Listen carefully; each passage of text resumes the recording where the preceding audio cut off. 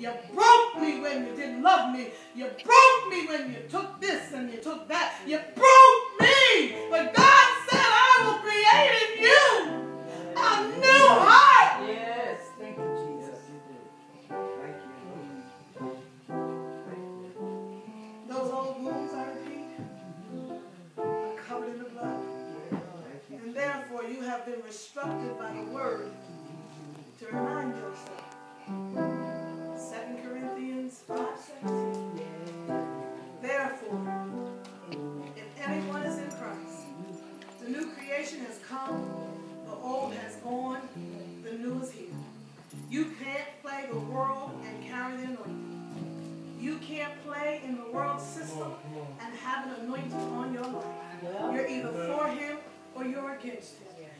Going to do what he said or you're not going to do what he said. Say, say. Let me make it plain. You can't get drunk. Mm. You can't play the number. Mm.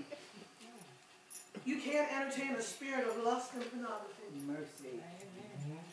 You can't have gossipy mouths and backbiting ideas. Mm-hmm. and have a sweet communion with the Holy Spirit. You've got to let go that nobody really understands. And all I want is, I've met so many people and all they want is, I want my mama to do such and such. I want my daddy. Daddy's gone. Mama's gone. And they still stuck on the I want to deal. Some of you have gotten caught up in tradition and how it used to be that you can't even enjoy when God moves in a different way. God is bigger than his last move. Let me say that again. God is bigger than his last move. If he moved you yesterday, he's a God that's bigger than that. Some people, I believe, are almost there, but almost doesn't count. Some of you are standing on the edge of a breakthrough. Some of you are standing on the dividing line between a yes and a no, between the struggle and the stress, between the rest and the blessing, between the weeping and the rejoicing. Just one step between empty nets and too much to handle. The truth is, most of us have been in this place before. So close your almost and reach out and touch it. So close to seeing that the prodigal son or daughter came home. So close to seeing your ministry lost. So close to a breakthrough in your finances. So close to accessing your vision. So close to close to be healing you emotionally, mentally, and physically and spiritually. Get so close to the promise that you possess the promise. We've all been in that place before, and for one reason or another, we fail to do crossover. It could have been the fear of the unknown. It could have been unbelief or pride, or memory of past disappointments, or unjust decisions. God sent word to us that the temperature has changed, and I received a yes from God. Look at your neighbor and say yes. Mm-hmm. Yes. Tell one another, I just want to help you get through. Mm-hmm. Tell one another, I'm reminded of the man at the pool, and I'm coming in. Pool of Bethesda, the place of blessings. No doubt he had seen many people get their blessing. No doubt he had seen many people get their deliverance and get their breakthrough. And no doubt the devil taunted him and tormented him and told him, You're never ever going to get. You're never going to get out that debt. You're never going to get off that drug. You're never going to see your family saved. You're never going to get that godly name. You're never going to have success in your ministry. You're never going to be able to let go of the hurt. You're never going to be able to forget what somebody did to you. You're never going to be able to forget the violation and the trust that you had in somebody and they jacked you up. The devil's standing there saying you are never going to get there. But when Jesus got to the pool and stood in front of him,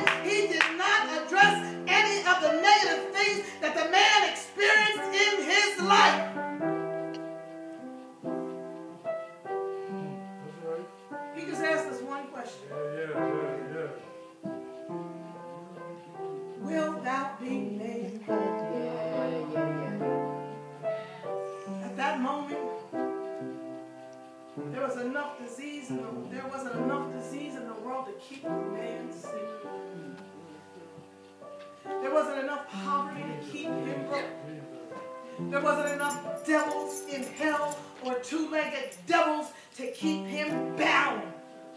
The only one who could keep him out was himself. If you have not been delivered, check out what you're holding on to. And let it go.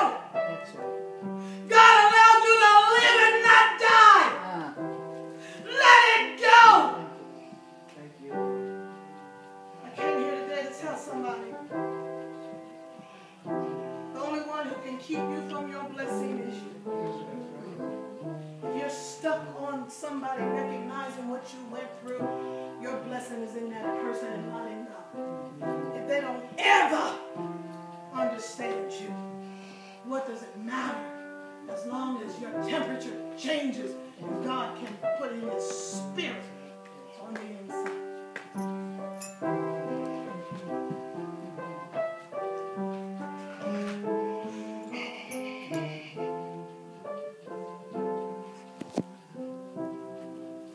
Enough to sit in church and watch those that praise God, praise God for me. It's not enough for those that have freedom in God for me to see their freedom. It's got to be not enough that when I see you doing your ministry, I don't have one. It's not enough that I watch you growing in the things of God. It's not enough anymore for me just to see you be blessed and me not be blessed. So I'm pulling on my yes. I'm sick and tired of being sick and tired. Mm-hmm. I'm sick and tired of church empty.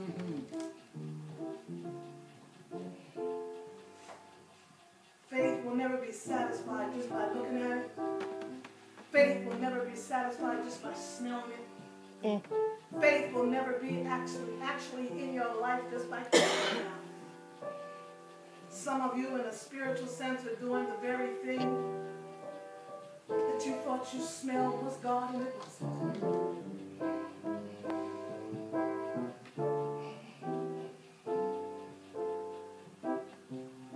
What do you want? To step into the new temperature?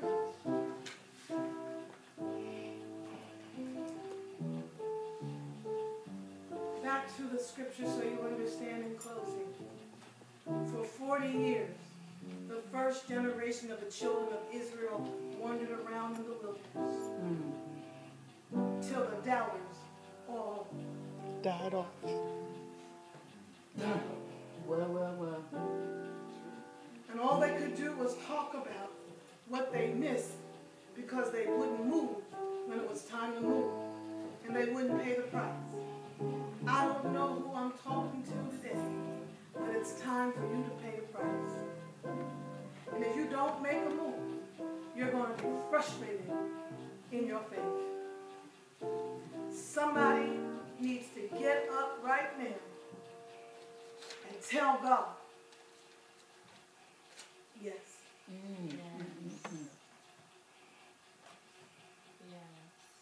I've been going around this mountain for 40 years, and I'm still not healed. It's just another way of saying to you, church, for us to be the church called out from among them, you're going to have to change.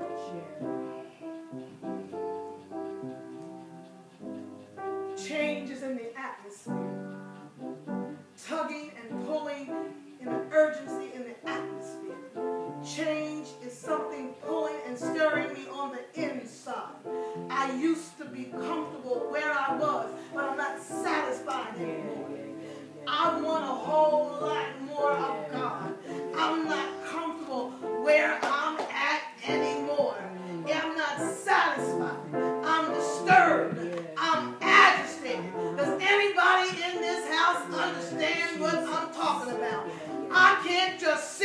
With my hands folded anymore.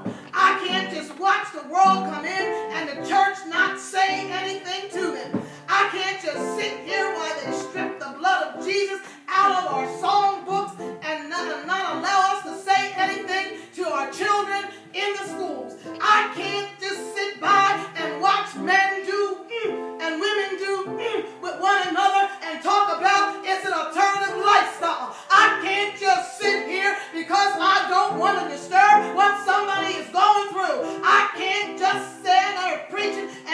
a damnable doctrine that any road you choose will get you to heaven. I'm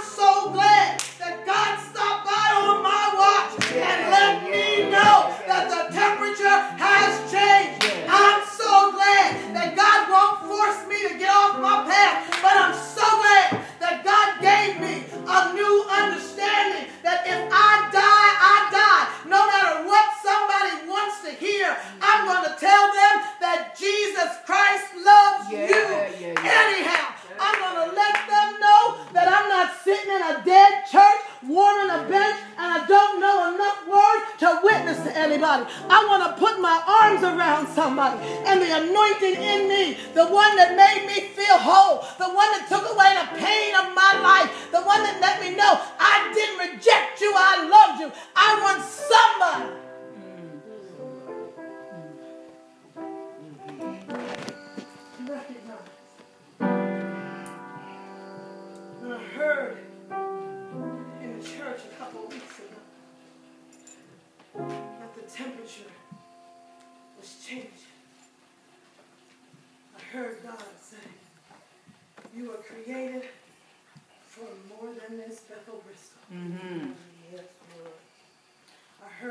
Say, the same anointing that Jesus had to do for the cross is the same anointing that's on you.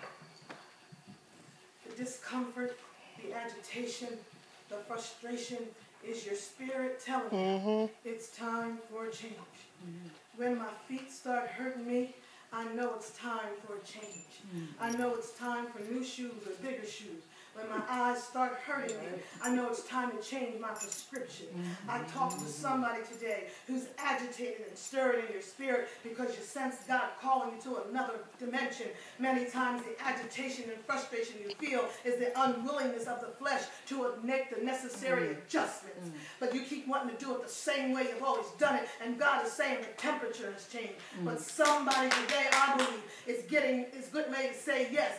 Somebody today is letting go of the past. Somebody is moving with God and paying the price. And somebody's going to see the glory of God in your ministry, in your family, in your finances, in your health, in your relationship. It's time for a change. Is there anybody in the house? It's time for you to understand I can't change your life. Mama can't change your life. Mom and daddy aren't your salvation. You can't be the God that presents them faultless before the living God because you didn't die and resurrect. Because when you died, you stayed in the grave. Somebody say amen. I don't know about you, Second Corinthians 3:18, but we all, but we all with open face beholding as in a glass the glory of the Lord are changed into the same image from glory to glory, even as by the Spirit of the Lord. It's time to change Bethel Bristol. Why? Because yeah, the yeah. temperature has changed. Why? Because there's a yes in the house. Uh-huh. If you keep sitting down in this house, you're gonna die. You're gonna Yeah, die a yeah, yeah, slower yeah. death, but you're on your way out.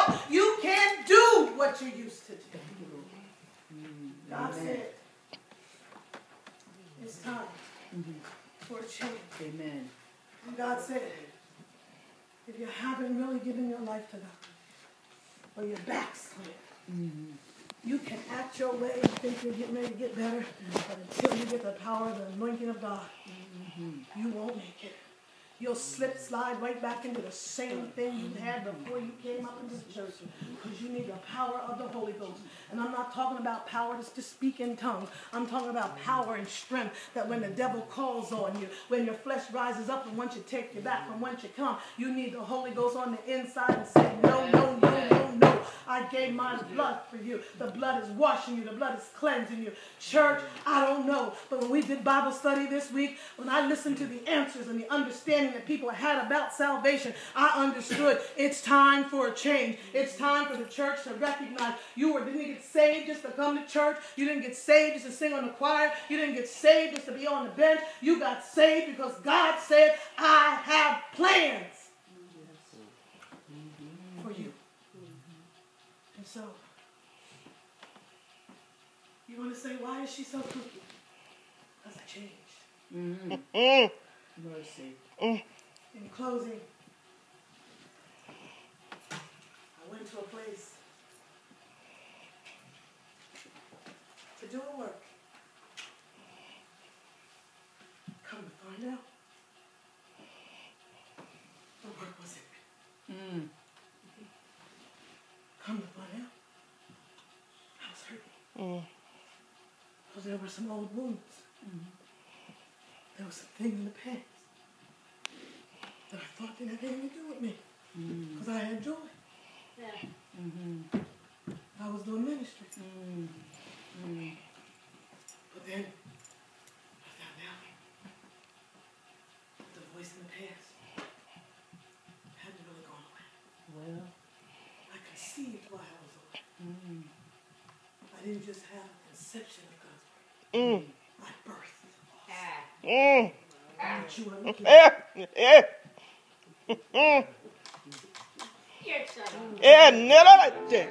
Mm. You might not understand, but you will. If you stick it out with me, you'll understand it. Conception of the word will birth a new way of living.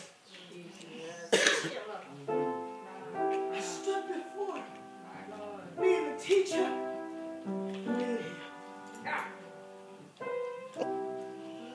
So you said, why was she so crazy? Because the temperature is so hot that if you come near me,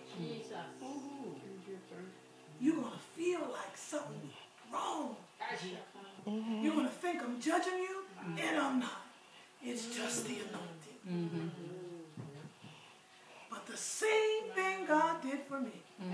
Come on. Yeah.